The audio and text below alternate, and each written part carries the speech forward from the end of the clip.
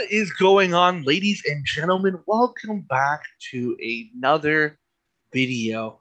We hope you have been enjoying our week full of Knott's. I know that both Tony and I are quite looking forward to seeing Knott's this season. I know we have two dates already planned in stone, locked in, attend, locked and loaded for this season. Unfortunately, uh, as much as, as we've been saying all week, probably we're sad we don't get season passes, but we're also looking on the bright side. Um, but uh, what that's not what you're here for. You're not here to hear us complain. You're here for that game plan. Yearly tradition here at the Nights of Horror for both Horror Nights and Knott's Scary Farm. The game plan to get you through everything, guaranteed because we've tested a lot of these game plans ourselves. Yeah, this this game plan is proven to work. You're asking yourself, "Oh my God, there is eight mazes, five scare zones. How am I going to do that all?" Well, you've come to the right place. Let's dive on in. Head first, man. Uh, Head first. So you're gonna start obviously at the main entrance because that's how you get into the damn park, right, Sammy? well, yes. We're, we're gonna we're going under the assumption that a you're not going to the western entrance. Yes. And b you're getting there nice and early. Yes. Because that is important. Get there early and get in the crowd and watch whatever opening. I, am just have. saying, you know, you get there early too. Wait outside the gate. They have some killer music playing in there, right, Sammy? Like "Bark at the Moon," little "Bark little at Hell's the Bells. Well, yeah, they got a, they got some music, got some bangers, uh, Dio, and we're all we're also under the assumption you're not getting buffet. This yeah. is a just you just bought the standard ticket and you want to do your best to get the most of your night. Yes, and this plan has worked. We've used this opening night of 2019 yeah. we were done by like 11:45. Uh, yeah, we, we got done really early. Um and but then you got to remember too, in the beginning, not as much people. You're going to see more of the diehard fans there rather than yeah. the the general population. Whereas yeah. later in the year, uh, it's going to get a little bit more packed. Uh, but still, I would follow this plan, especially because we're we're giving you the more popular mazes to hit first, and working your way. So by the time you get to the last couple of mazes, it's a little bit more dead. So yeah, go ahead, Sammy, take it away. Where are we starting after the main entrance, man?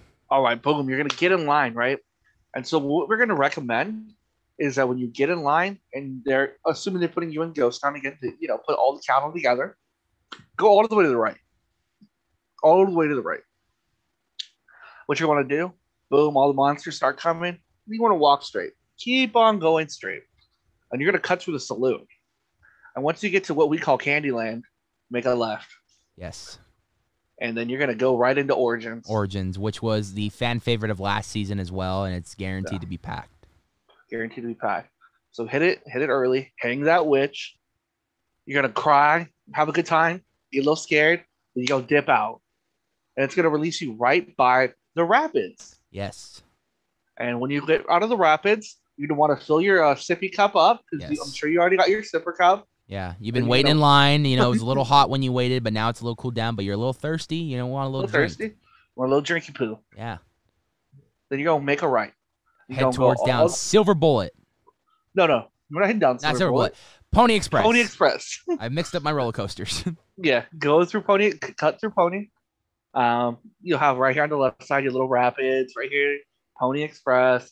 Going towards Western, and you're gonna go over the train tracks you're gonna say hi to the Charles M. Schulz Theater or whatever it's called now. You're also gonna be in the Goring Twenty, the brand new Scare Zone, which is probably going to be packed too because a lot of people are gonna want to see it.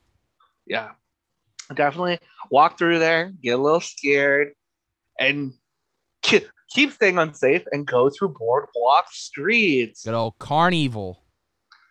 Beautiful, and you're gonna get all the way towards the end, towards Accelerated. Hold on, while i they're while they're in CarnEvil, make sure to say hi to Joker for me because uh, he's got a quite the fan club. So yeah, time to go back to HHN. Yeah, if you know, you know. You know, you know. uh, and then in the back left, you're gonna want to go hit the new maze Mesmer, um, and that's gonna be a real good time. Which is also guaranteed to be packed because it is a new uh, attraction for Knott's Scary yeah. Farm. Yeah, definitely. So you want to get there, boom. Once you got a Mesmer, you're gonna get all released all the way in the back by like Supreme Scream. Yep. And so you're gonna want to cut back up, and you're gonna want to go to one of our favorites, Dark Ride. Good old Dark Ride. Right in there, you're gonna have a great time. Um, go to Clown Hell, Now, Um, and uh, get get your souvenir picture. by by this point in the night, it should be roughly around. So the event opens at seven. It should be We'll about roughly around. 8:15. it- It'd be around It- eight fifteen, eight thirty. Um, Yeah.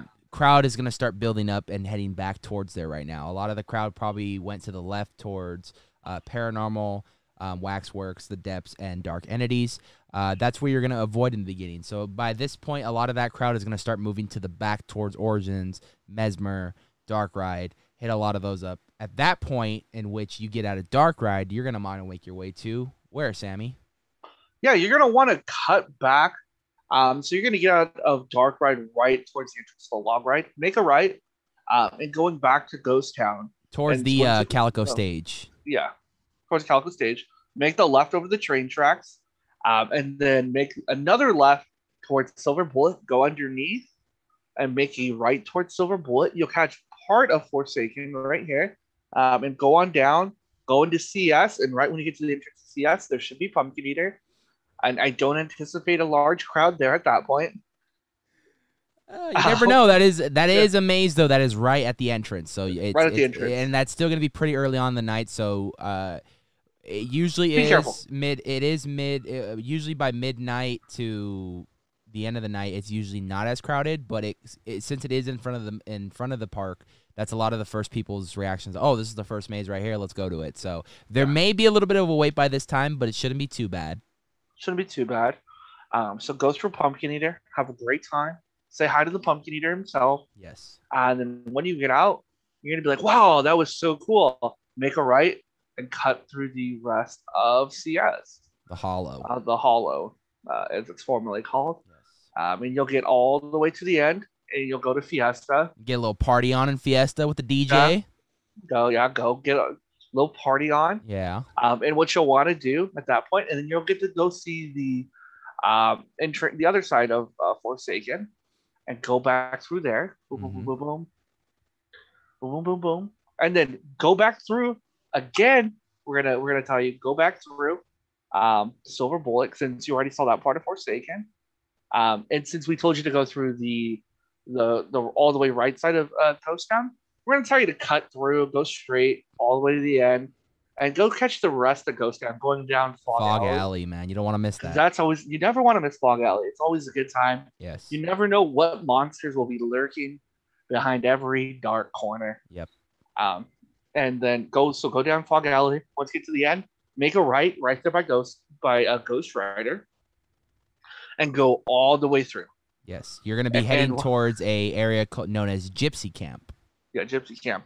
It's backstage, normally not open for Right. the day operations, but it's open for the fun time that it's that it's Scary Farm. Yep. And so go all the way down, and then you'll find yourself probably having a little bit of wait for the Depths, which is another fan favorite. Yes.